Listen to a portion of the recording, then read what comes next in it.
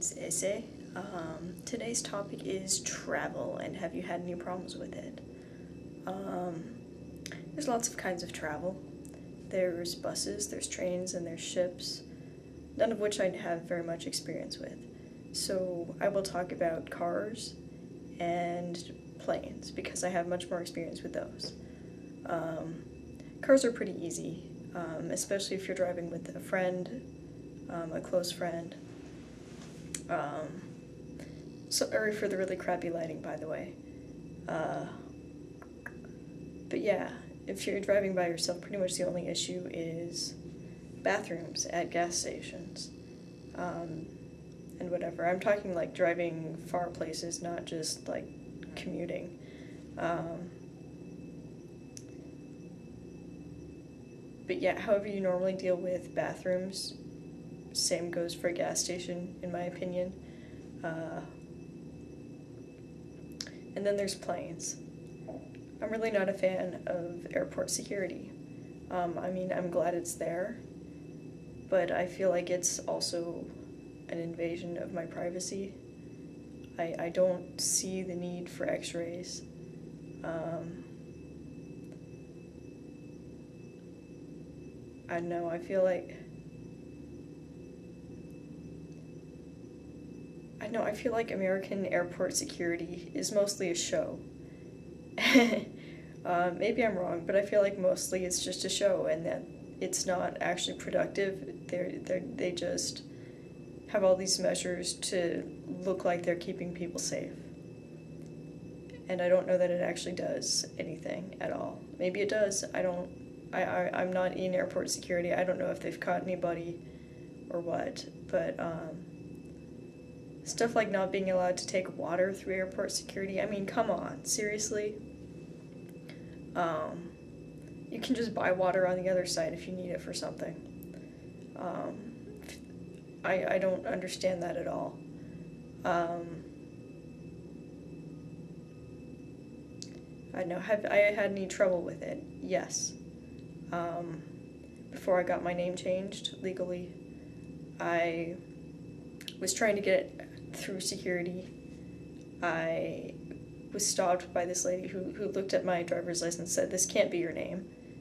Um, and she just really didn't believe it was my name because it's a very not masculine name at all. Um, and so I just kind of said, yes, it is. I, I, was kind of frightened. I was afraid something might happen, that I'd get pulled into a back room or whatever. But um, she just kind of said whatever and let me through. So I was pretty lucky with that. Um, yeah, that's the only real issue I've had. Um,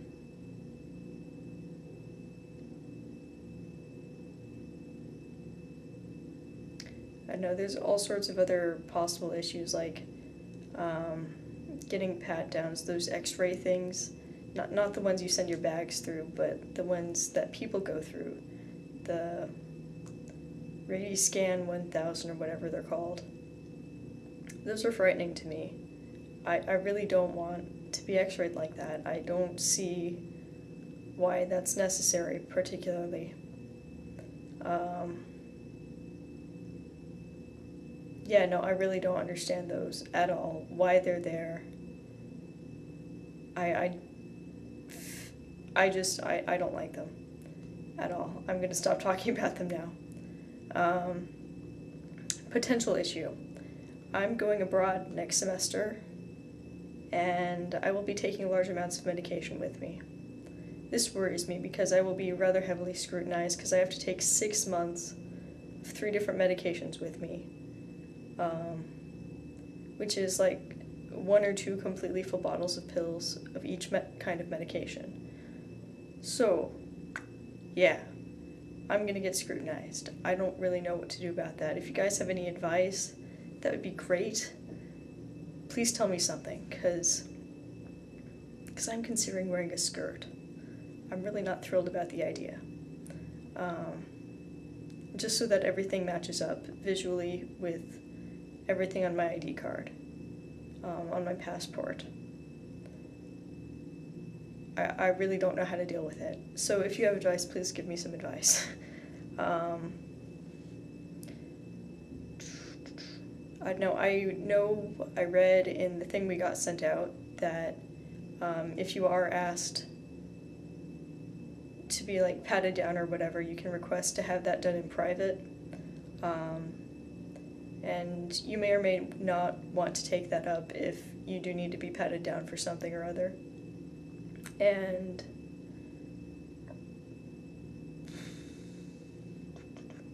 um, yeah, if you do want to have it done in private, if you have somebody else with you that you're taking the same flight on, um, someone you know, a companion is, I think, the term that was used in the paper.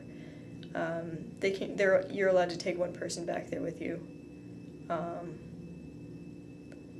which is good. So that might, that's another option to consider. Um, and if anybody wants to get sent that information, it is mostly just like the new regulations, especially relating to trans folk and how it affects them and what you can possibly do about the new security measures. Um, mostly it's just informative. But yeah, anyway, um, by the way, if anybody has advice about German security um, on planes or Austrian security on planes, please let me know because I will be going through those and I don't know anything about them. And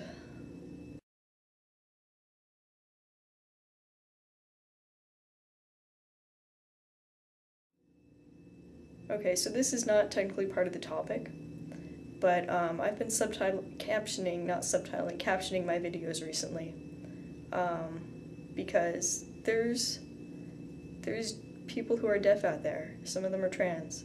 They would like to be able to understand our videos too. I just I really feel like it's just the polite thing to do. So I would really encourage everyone to subtitle their videos if at all possible. It takes a little bit of time but um, I really think it's a worthwhile effort. Like, spread the love, spread the community around. I think it would be a really good thing. Um, I know Sheik is already doing that, at least on his personal channel. Um,